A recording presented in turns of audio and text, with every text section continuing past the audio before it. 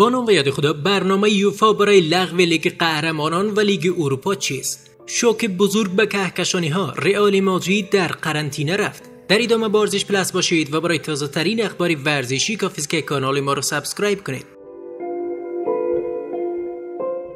در پی شیوع ویروس کرونا و مثبت اعلام شدن تست بیماری دو فوتبالیست یوفا در صدد تعویق لیگ قهرمانان و لیگ برتری اروپا می باشد ویروس کرونا فوتبال و در مجموع ورزش دنیا را تحت تاثیر خود قرار داده است شب گذشته بود که اعلام شد دانیل روگانی مدافع یوونتوس مبتلا به ویروس کرونا شده است. این اتفاق باعث شد بازیکنان و کادر فنی یوونتوس به قرنطینه خانگی بروند. بازیکنان اینتر نیز تحت تاثیر این اتفاق و به دلیل اینکه چند روز پیش برابر یوونتوس به میدان رفته بودند خود را قرنطینه کردند.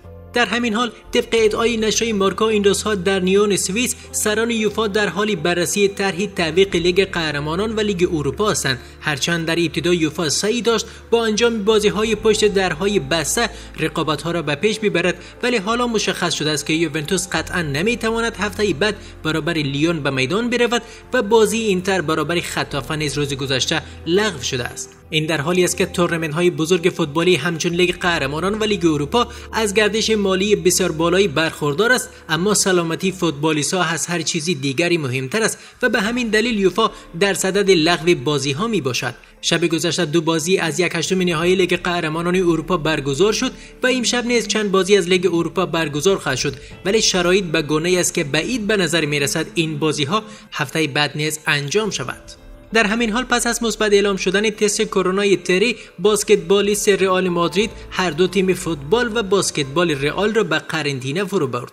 ساعت پیش بود که تست کرونا تری باسکتبالیست باشگاه رئال مادرید مثبت اعلام شد. اتفاقی که تیم‌های باسکتبال و فوتبال رئال را به قرنطینه فرستاد.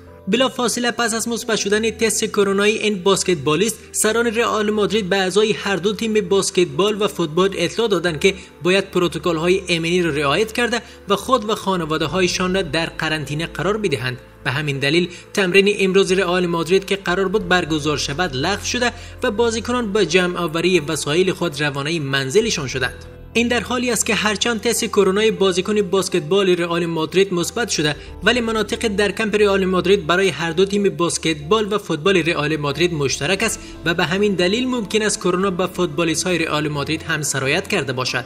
قرار است از تمامی اعضای تیم فوتبال و بسکتبال رئال مادرید تست کرونا گرفته شود. به این ترتیب و به احتمال زیاد دیدار هفته بعد رئال مادرید برابر منچستر سیتی در لیگ قهرمانان نیز لغو خواهد شد. امروز همچنین بازی های لالیگا نیز موقتا برای دو هفته به حالت تعلیق درآمده است. نظر شما در مورد این دو خبر چیست؟ نظر خویش را در کامنت همین ویدیو با ما شریک سازید. تشکر از اینکه تا آخر ویدیو با ما همراه بودید. تا ویدیو بعدی خدا نگهدار.